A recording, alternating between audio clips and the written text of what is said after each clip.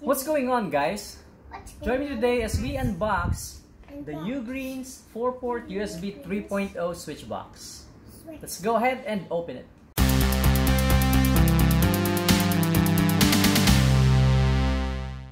The Ugreen 4-port USB 3.0 switch box enables two computers to share up to four USB peripheral devices such as mouse, keyboard, flash drive, scanners, printers, or even USB hubs.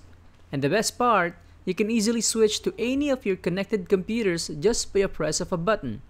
It is really a cost-effective solution for those who work with more than one computer. The 4-port USB switch box from Ugreen uses USB 3.0 so expect data transfers up to 5 gigabit per second. The product came in a nice white box wrapped in sealed plastic. Now time for us to open it.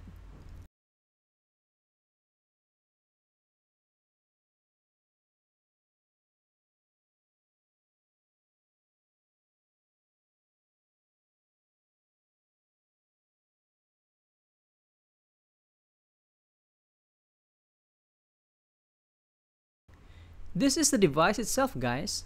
It's not bulky and slim enough to be concealed behind a monitor or under any desk. On top we have the logo with the switch button and 1 and 2 indicators. While on one side we have the 4 USB 3.0 ports.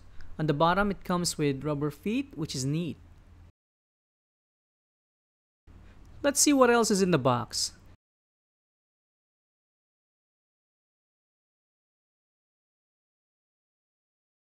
It also comes with two USB to USB cables that will be connected to the computers. The cables look thick and heavy duty. It comes with a thank you card and the manuals too. I forgot to mention that behind is where the two USB cables will be connected and it also has a 5 volt micro USB port when connecting power hungry devices such as printers or external storage device through micro USB and Unfortunately, the micro USB cable is not provided.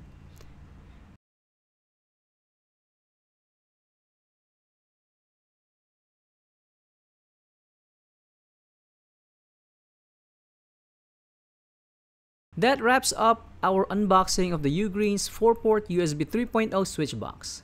Until next time and peace!